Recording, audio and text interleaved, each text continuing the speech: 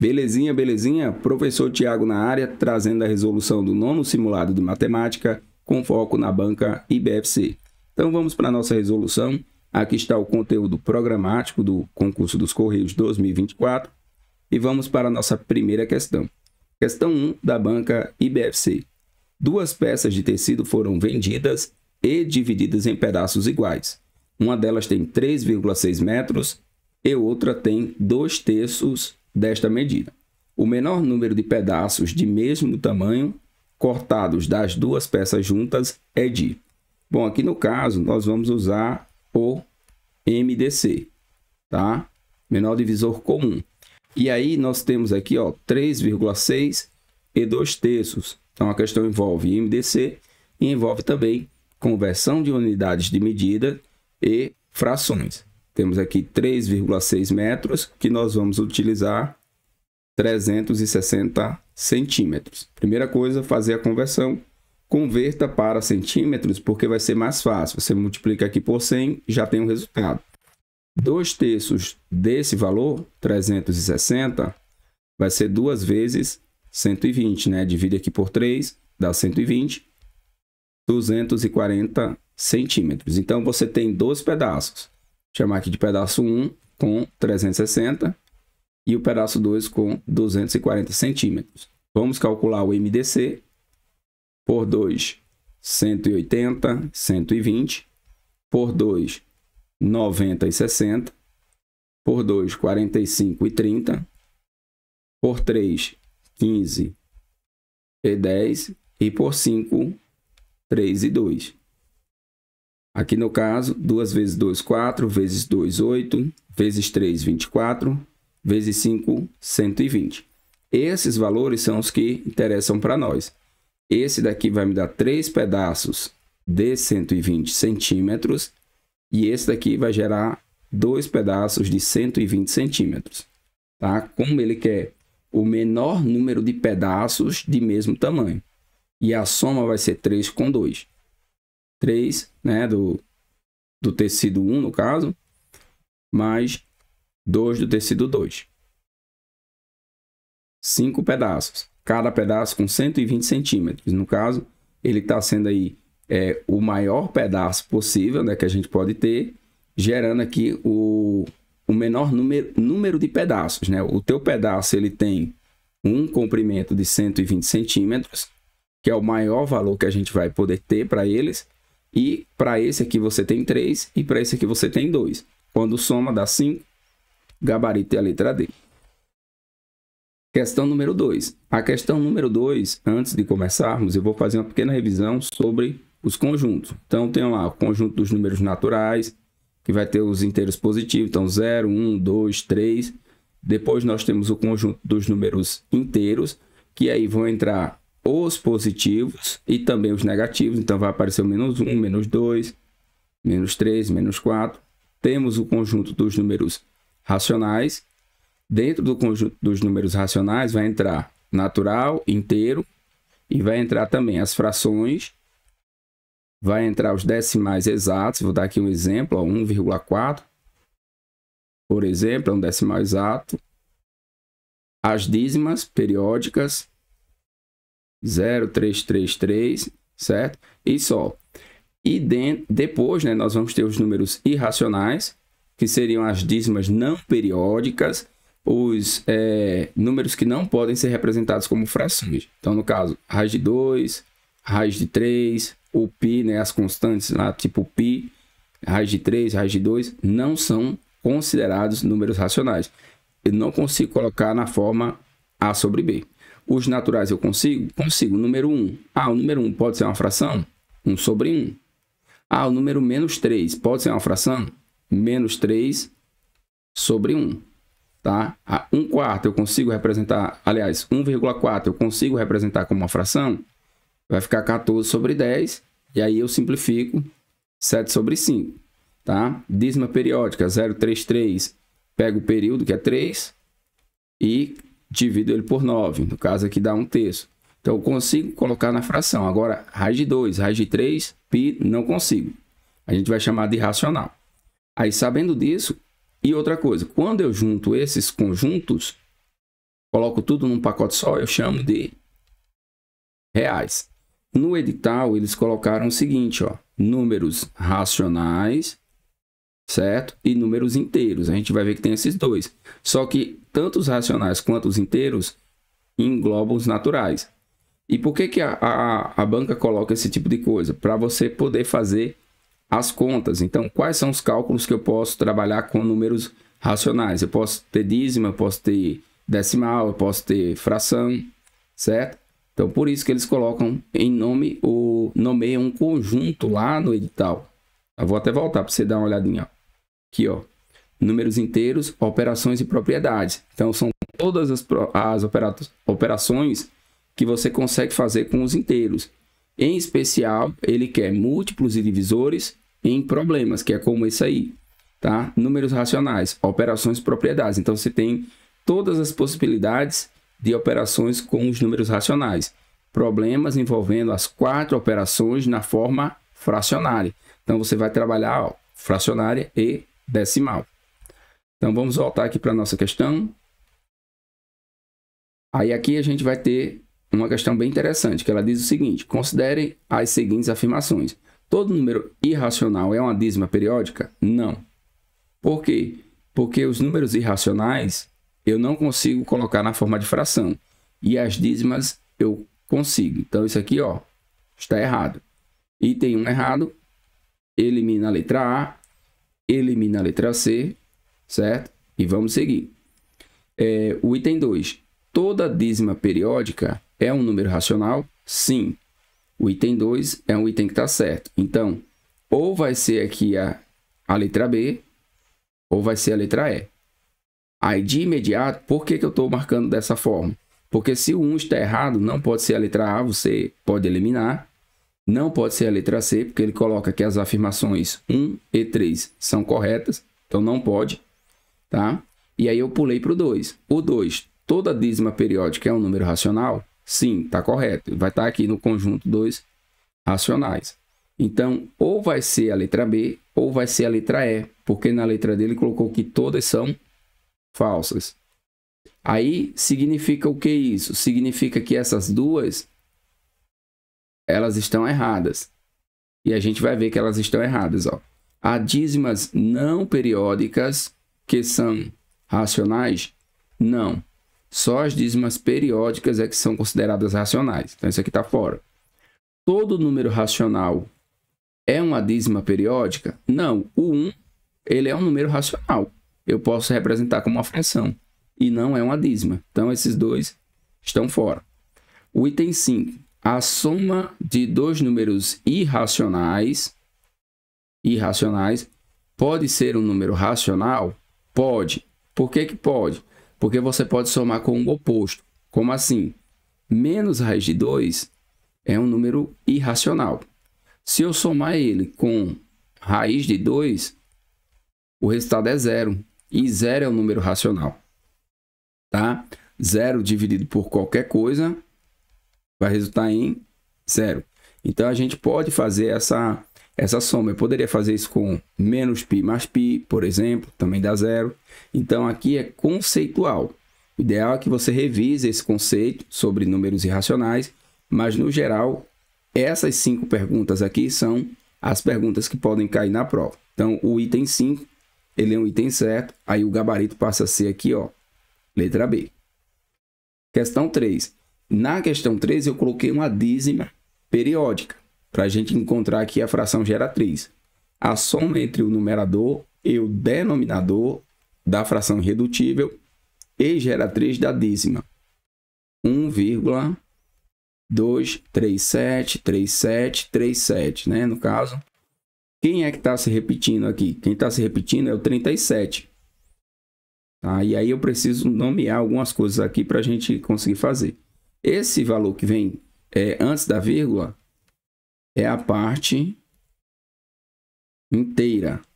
Isso aqui é a parte inteira. Então, quando eu falar a parte inteira da dízima, é o que está antes da vírgula. Esse número que está entre a repetição e a parte inteira é chamado de anteperíodo. Anteperíodo, tá? Porque o período vai ser o 37, a parte que se repete. E aqui, ó, no caso, o 37 vai ser o período. Período barra repetição. Certo? Essa dízima aqui, ela é simples ou composta. Aqui nós temos uma dízima composta. Dízima periódica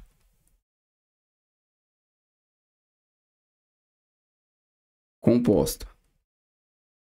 Por que, que eu estou colocando composta? Porque você vai ter a simples. Por exemplo, é, se eu tivesse aqui ó, 1,37, 37, seria uma dízima simples, porque não tem o anteperíodo. Então, quando tem o anteperíodo, é dízima composta. Quando não tem, é uma dízima simples. Tá? Normalmente, dízima simples, ele vai colocar 0,33, 0,66, são valores comuns. Como é que eu encontro a fração geratriz. Olha só como é que é que eu vou fazer. Você vai pegar, esquece um pouquinho aqui a vírgula. A partir de agora, esquece a vírgula. Escreve até o período. Escrevi aqui sem a vírgula. Subtrai até o anteperíodo. Quem que é o anteperíodo? Não é o 2? Então, vou subtrair 12. E divide isso aqui por quantas, quantos algarismos tem o 37? O algarismo é o 37 é formado por dois algarismos, o 3 e o 7. Então você vai colocar aqui, ó, dois noves, um referente a cada algarismo, um para o 3 e um para o 7. Então, a quantidade de algarismos vai gerar para você a quantidade de noves que você coloca no denominador. O 2 é o anteperíodo. Quantos algarismos tem o meu anteperíodo? Só tem um. Aí você vai colocar um zero. Tá? Um zero. Ah, se fosse, por exemplo, 1,21, 37, 37, 37. Aí seria 12137 menos 121 dividido por 9900, porque aqui eu teria dois algarismos na repetição, dois noves, e dois algarismos entre a parte inteira e a repetição, dois zeros. Então, essa é a forma da gente converter, tá? Aí aqui no caso eu vou fazer 1237 menos 12. 1237 menos 12 vai dar 1225. Sobre quem? 990. Vou dividir por 5, tá? Vou simplificar por 5 porque esse número termina em 5 e esse termina em 0. Então, 1225 dividir por 5, 2 vezes 5, 10, sobra 2, desce o 2. 4 vezes 5, 20. Sobra 2, desce o 5. 5 vezes 5, 25. Aí aqui, ó, a, a minha fração, eu vou simplificar. Essa fração que está 1.225 vai passar a ser 245. E agora eu vou pegar o 990 e vou dividir por 5. 1 vezes 5, 5. Sobrou 4, desce o 9.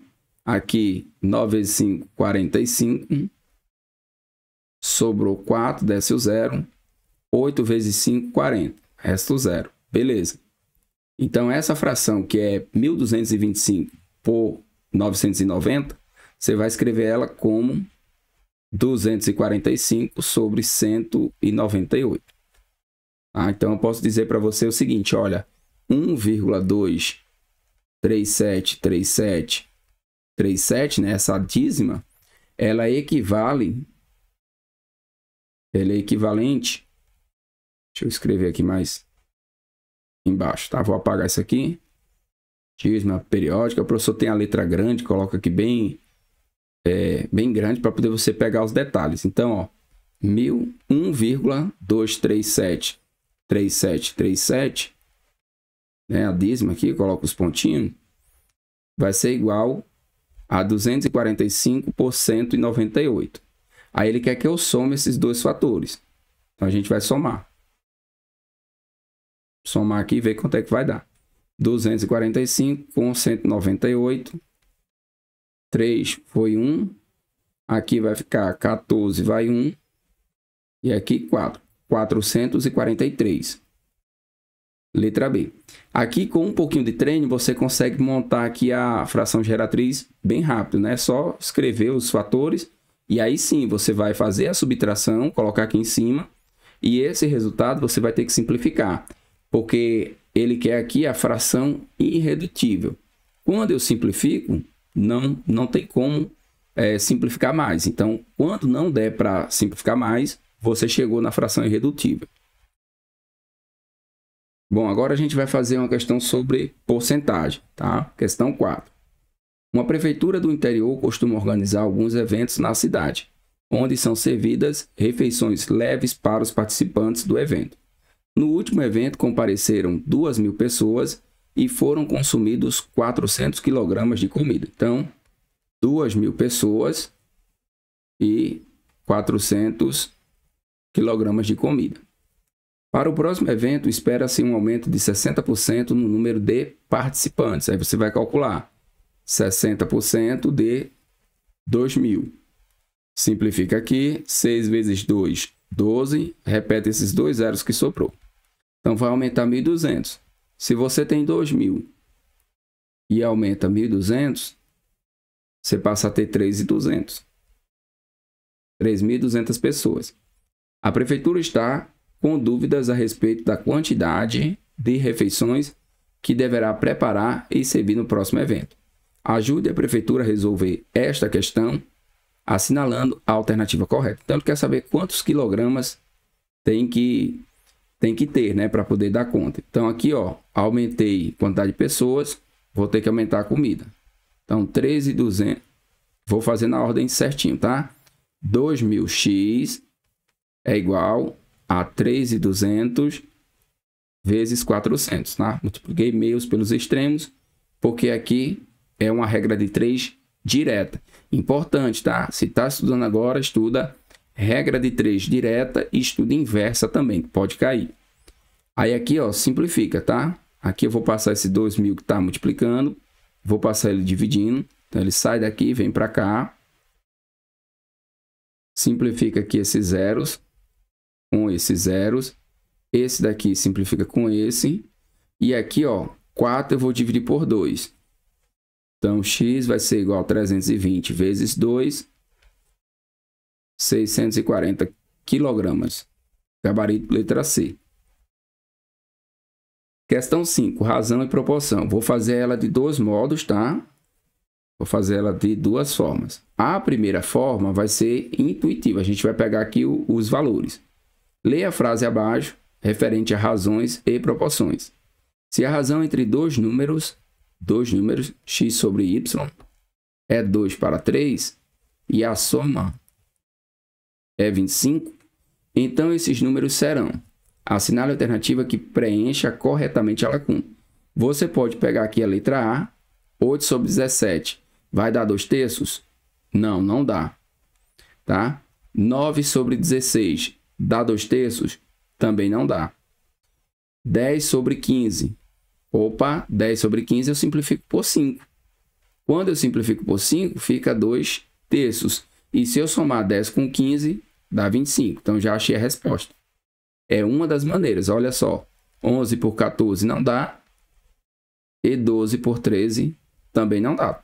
Todos aqui a soma dá 25. Mas o, os únicos que a razão vai dar 2 terços será 10 e 15. Como é que eu faço a conta? Bom, para fazer a conta, né, que é o segundo modo, a segunda forma, você vai fazer o seguinte, ó, x sobre y igual a 2 sobre 3. Como ele me dá a soma, então eu vou fazer o seguinte, ó, x sobre x mais y é igual a 2 sobre 2 mais 3. O que eu fiz com as variáveis, né, eu faço aqui com os valores. Como eu tenho essa soma, x sobre 25 é igual a 2 sobre 5. 25 vezes 2 dá 50. 50 dividido por 5, x é 10. Consequentemente, y é 15, porque a soma tem que ser 25. Então, aqui, ó, letra C, nosso gabarito. Questão 6. Num cruzeiro marítimo com 1.200 pessoas a bordo, incluindo os tripulantes, Há comida suficiente para todas durante 18 dias. Aqui nós vamos ter uma regra de 3 inversa. Então, são 1.200 pessoas e temos aqui 18 dias. tá? Caso houvesse 300 pessoas a menos, então no caso aqui 900, então a comida será suficiente para vou aumentar, né? A quantidade de dias não vai diminuir, porque se você tinha 1.200 pessoas, dava para 18 dias, com 900 vai dar para mais. Então não pode ser aqui a letra D. Não vai cair. Aqui nesse caso, você não multiplica meios pelos extremos, porque diminuiu aqui e do outro lado vai aumentar. Então vai ser 900x igual a 1.200 vezes 18. Mesma coisa, pega o 900 que está aqui e passa para o outro lado. Fica bem mais fácil de fazer o cálculo. Porque aqui você vai simplificar esses dois zeros, vai deixar o 12 e vai dividir 18 para 9. Dá 2. 12 vezes 2, 24. 24 dias, né? 24 dias. Letra C. Questão 7, a gente vai ter aqui é, fração, vai ter conversão de, de unidades e vai ter também regra de 3. Então, olha só. Aqui nós temos o seguinte. O motorista levou 2 horas e 15 minutos. Apareceu isso aqui na prova, 2 horas e 15 minutos. A primeira coisa que você vai fazer é transformar tudo em minutos. 120 mais 15, 135 minutos. Por quê? Se você for trabalhar com horas e minutos, vai dar mais trabalho.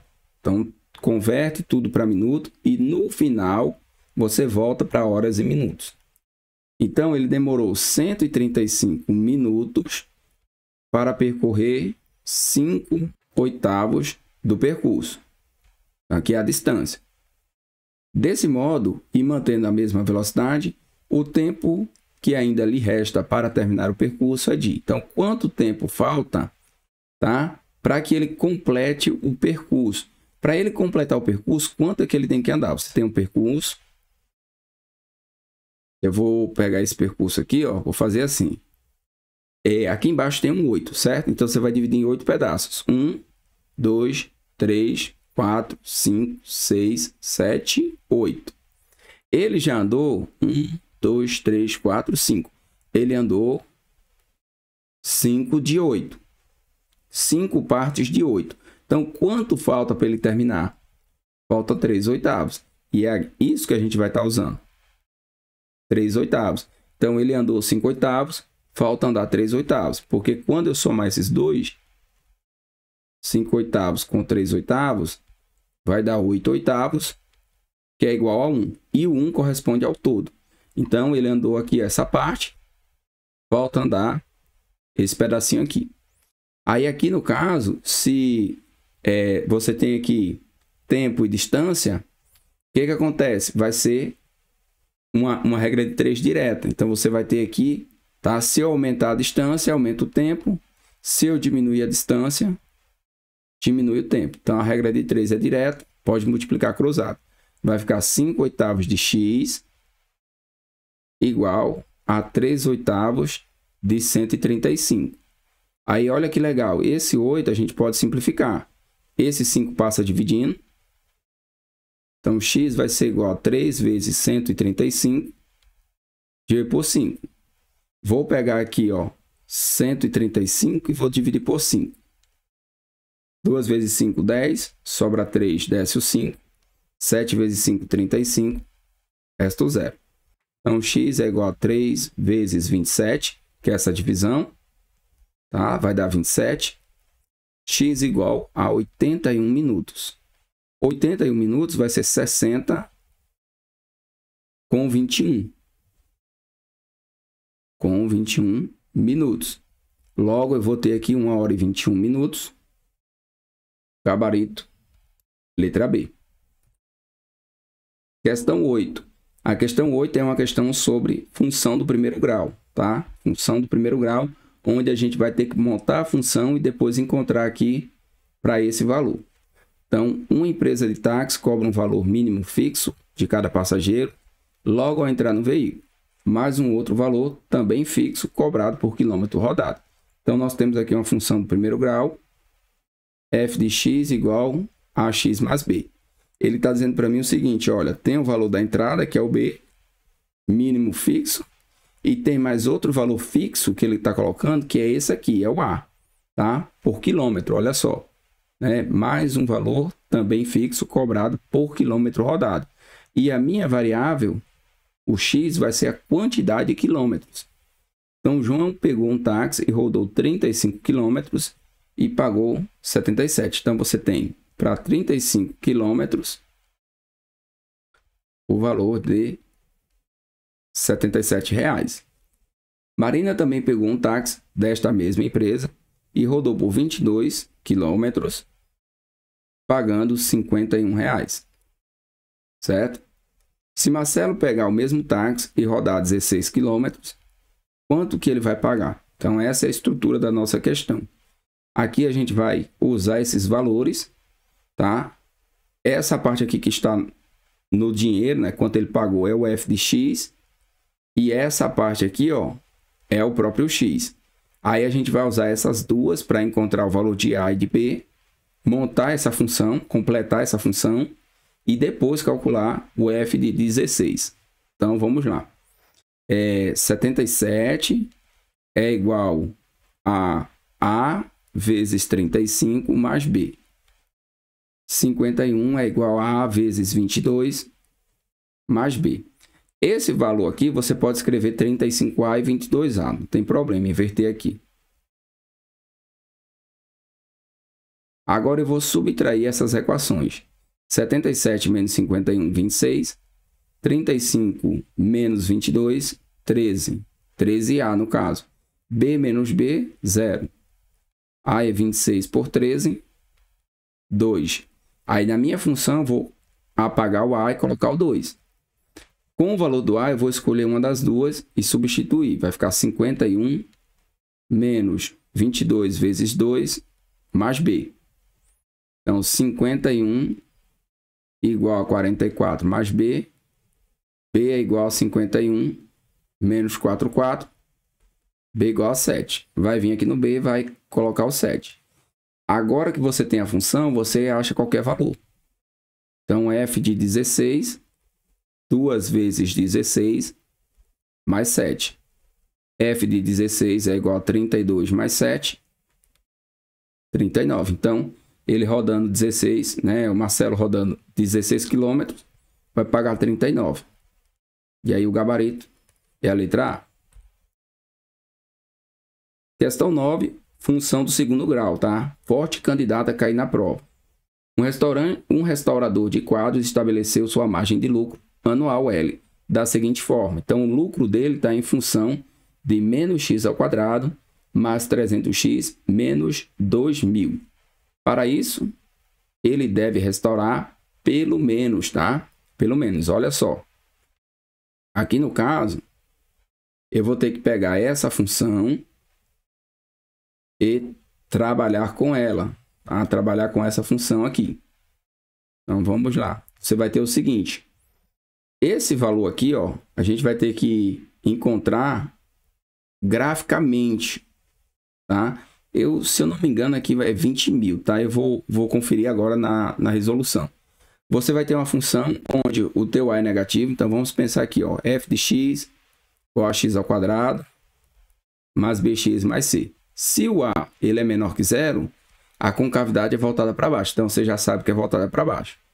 Esse ponto aqui que está sozinho, que nem tem x ao quadrado, nem tem x, você vai marcar aqui no eixo. Então, ele começa aqui, ó, menos se eu não me engano, aqui vai ser 20 mil. Vou até colocar 20 mil. Aí ele vai subir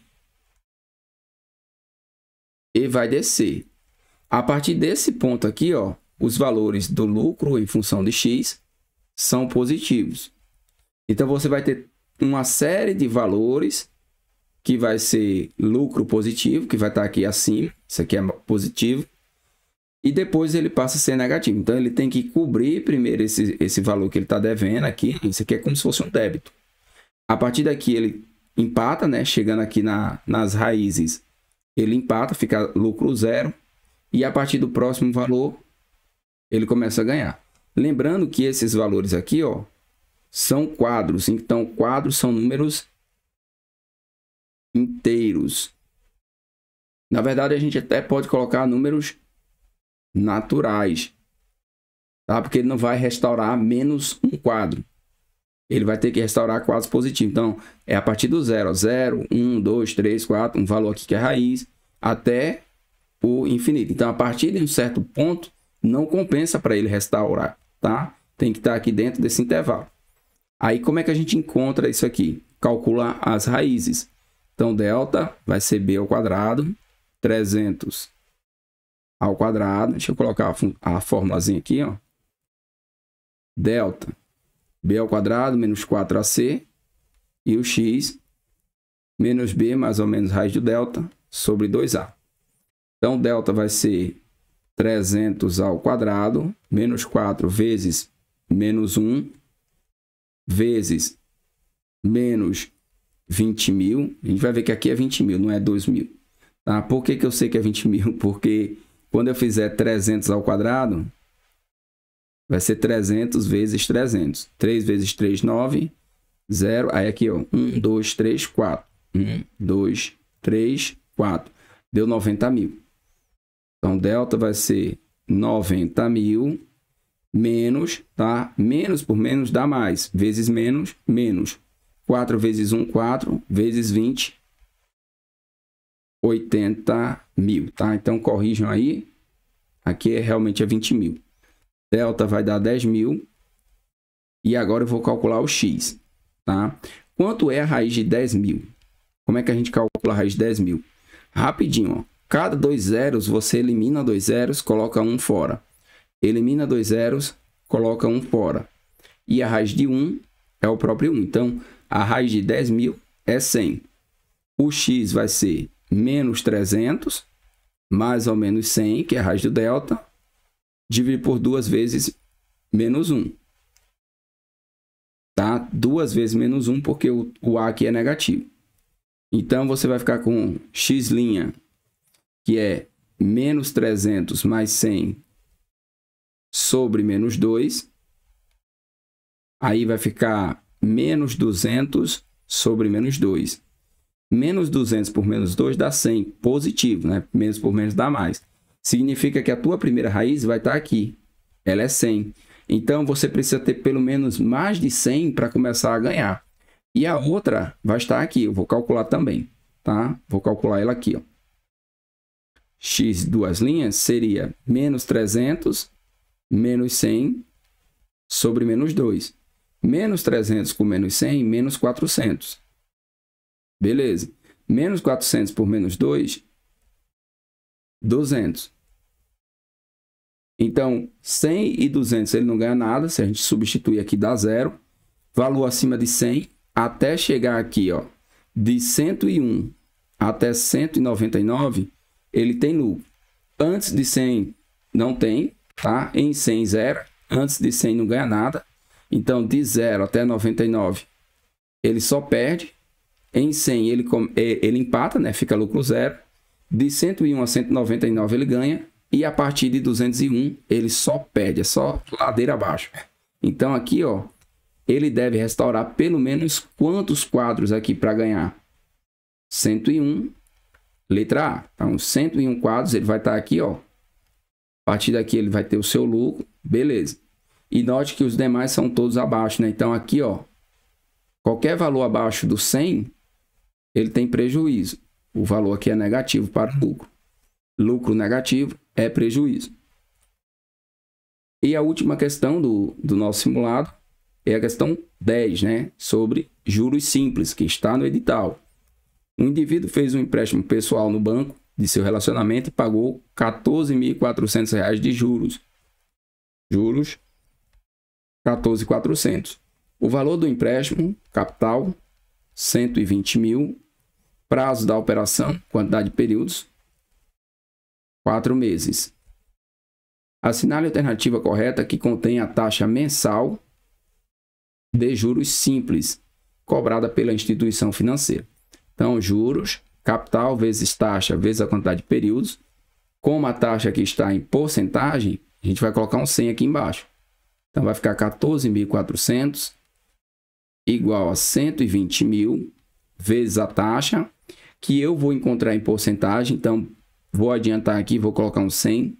Isso vai me ajudar na conta bastante. vezes 4. Então, ó, zeros vão com zeros. Aí aqui esses dois zeros do é, 14,400 vão com esses outros dois. Tá? Vou colocar até um x assim, ó. O que que sobra? 144 igual 12 vezes 4, 48. 48i.